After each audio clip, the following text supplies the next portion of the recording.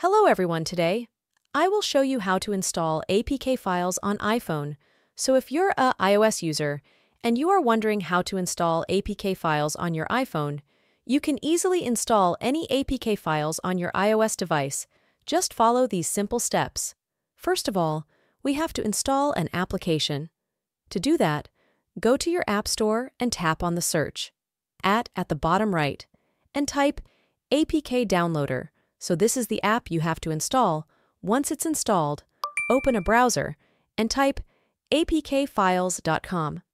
Once you are in this website, tap on this search at the top and search for the app. Search for the APK app you want to download and install. And here you will get the app. Tap on the app, tap on Download. Free. Submit the text here and tap on Download.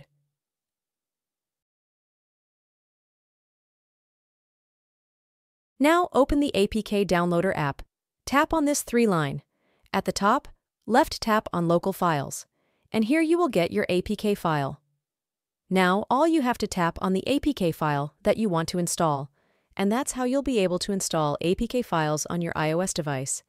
If you find this video has been helpful for you, please consider by liking and subscribing. I'll see you again next time. Thank you.